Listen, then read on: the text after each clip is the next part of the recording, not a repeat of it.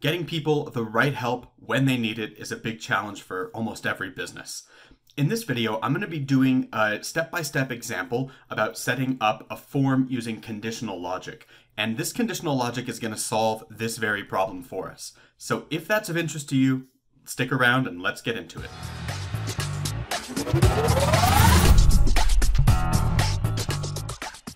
Hi, my name is Gareth Pronovost. I'm the owner at Gap Consulting, where we build automated and streamlined database processes for our clients so that they can spend more time in their business and less time working on the day to day grind.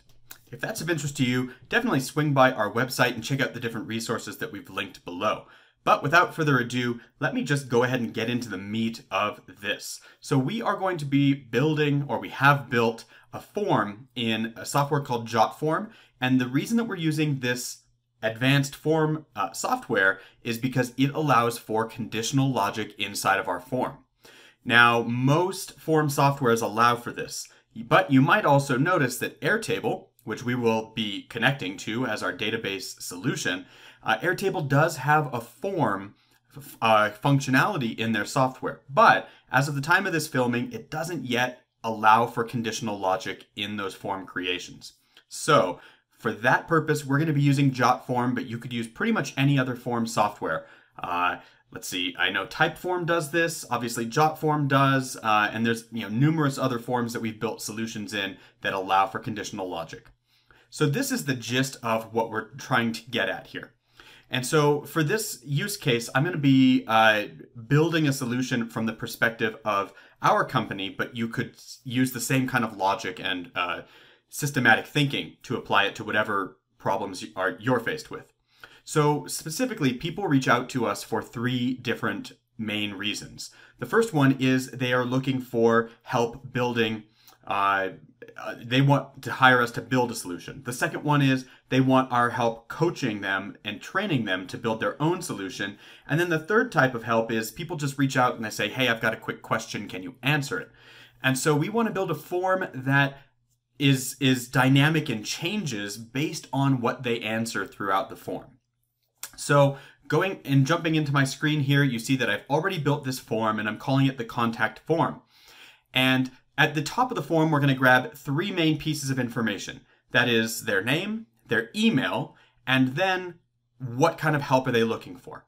If they're looking to just have a question answered, then the, the follow-up questions are going to be different. Whereas if they say, hey, we actually want to talk to you about, you know, hiring you to build a project for us, of course, we're going to send them to a different place, right? The type of help they get from us dep- is dependent on what type of help they're looking for.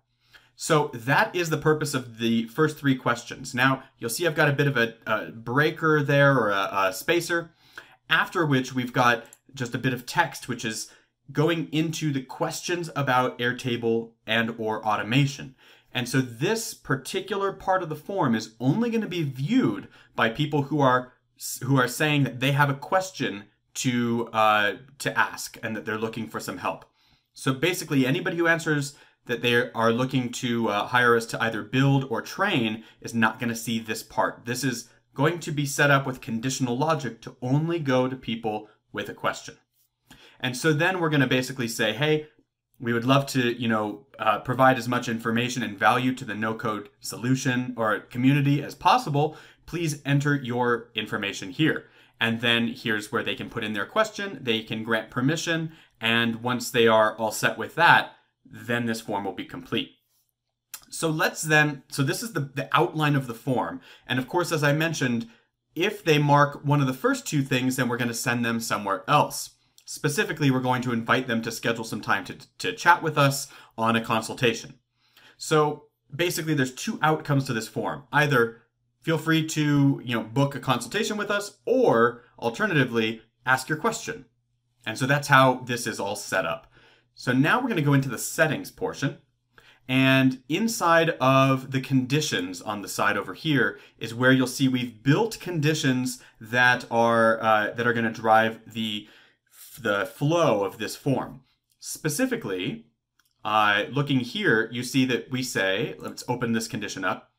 In the case where they answer the question, how can we help? And that was, if you recall, the question with the three different options. If their answer is not equal to, I have a question, that is, it's the first or second option, then we're going to redirect them to a Calendly URL where they can schedule time to uh, chat with me. Alternatively, backing out of this, in the case where it is equal to, to that they have a question, in that case, we want to then show answer or questions five, six, and seven. So let's take a look at what this actually looks like live. So if we go to the publish section of this and we open up this form, you'll see that it only starts with the first three questions. I can go ahead and fill this out with some, you know, uh, example information. So I'll bring in my own data there.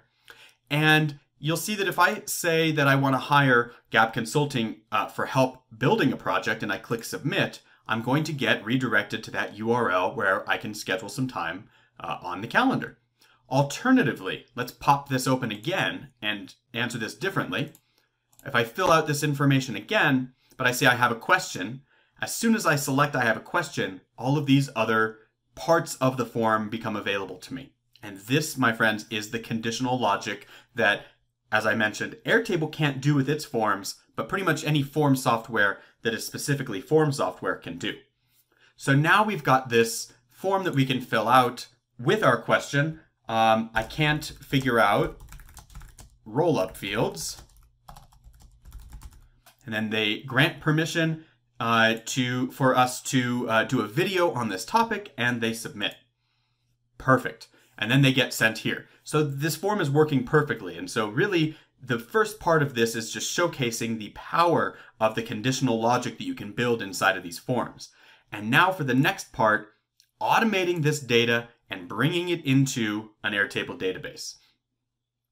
So as you'll see here, with the couple of things that I've just filled out, here is uh, the contact person, Gareth, and here is the uh, information to the two things that we just filled out. Let me actually bring in the uh, created date and timestamp here so that we can uh, verify that these actually just, just were created. So you'll see that these just happened within moments of each other and that these previous ones are older records. And of course, there's a bit of a, um, a confusion here with a, with the symbol. It looks like the apostrophe that I put in kind of got garbled in uh, in translation, but the gist of it, it still got you know brought over just fine. And so these, the next step of this is how do we build the automation? So really quickly, going into Zapier, the ideal way to build an automation coming from Jotform or any form submission company, it, if you're not going to build a direct integration with your database, and I have a couple reasons around that, but if you're not doing that, then the best way to do it is to grab a webhook. Webhooks can seem a little overwhelming, but they're actually pretty straightforward. We set it up by saying that the trigger that we're using for this automation is going to be webhooks by Zapier, and we use a catch hook. We can customize this if we want to. You'll notice I haven't made any uh, alterations here. But the important part is that we grab this webhook uh, URL. So I've just copied it to my clipboard by selecting copy. And then over here in Zapier, when we go into the settings and we go down again to, oh, excuse me, I said Zapier. Inside of Jotform, we need to tell it that we're integrating with this webhook. So we need to go down into the settings of Jotform, this particular form, click integrations, click webhooks, and here is where we want to paste in that webhook URL. And that's it. Basically what this is saying is when this form is completed, this webhook is going to trigger and that tells Zapier that it's time to perform an automation. So then jumping back into our Zap, once we've got the webhook all built correctly, we can pull some example data in, which you'll see I've, I've done already. So these are just answers to the form. And then we can come down here and there, this is a two-step automation because first we need to find and or create the contact person. And then we need to link in our third step, we need to create a record in the form submission of the table.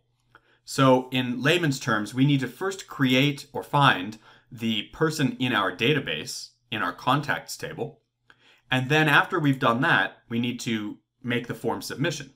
So for example, let me uh, go back and drop it back in one more time and submit this form. Let's suppose I used another name. Uh, maybe I'll just use my last name. And I'll use an example email address. And it doesn't matter what I answer to part three necessarily. What we want to have happen and what will happen back in our database is we need to create a new person because we don't have this uh, this email, gareth at example.com, is not already in our database. And so now this new person will be created with a submission to the form. So the important part here is making sure that we have our tables set up correctly and that we take our Zap one step at a time. That is, we find or create the contact. And so when we set this up, we're going to use the, uh, we link to the proper base, we look at the contacts table, and we're doing a search by email. So we're saying I'm looking at the email field in the table and I'm going to compare that to the email that was entered in the form. That's this element right here. If I don't find that email, then I will create a new record and I will create it with the name and email address. If I do find it, then this step is done. We've located the record.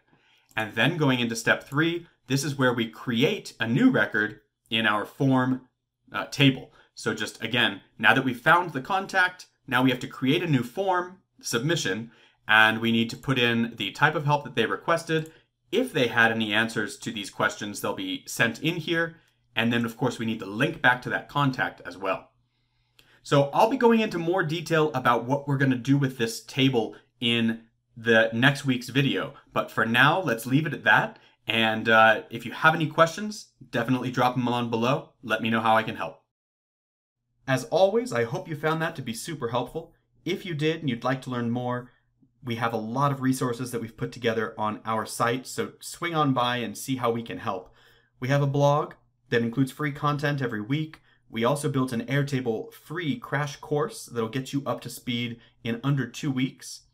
And if you're looking for something more advanced, you can book some time to have a discussion with me. I will hop on a Zoom call with you and we can talk about what your needs are and how our company might be able to help. So if that's of interest, swing on by. Look forward to connecting with you soon.